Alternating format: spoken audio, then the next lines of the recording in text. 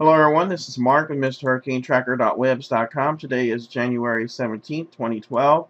Taking a look at a magnitude 5.7 earthquake, and I'm sorry uh, about my voice, I'm not feeling too well.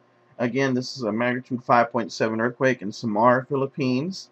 Let's go and review that using the USGS. It says here that this event has been reviewed by a seismologist, sorry about that, at a magnitude 5.7. Location at 11.162 degrees north, 125.831 degrees east. Depth was only 22.4 miles or 36 kilometers. So if you're in the area and if you did feel the earthquake, please definitely comment, which I'm sure some people may have felt it and some people may not have. So if you felt it, definitely comment. Again, that's 5.7 earthquake, Samar, Philippines.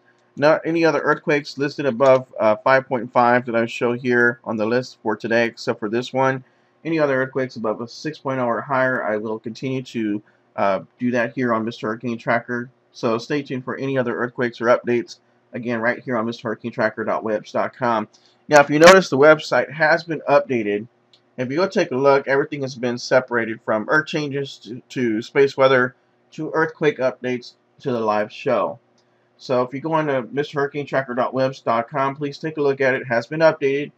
That way it'll be a lot easier for you to go check out the updates. So thank you very much for watching and have a great day.